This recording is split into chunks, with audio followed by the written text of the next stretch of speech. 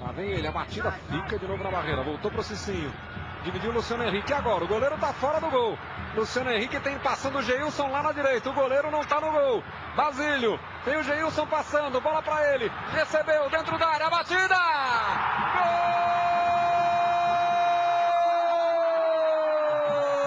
Gol do Santos!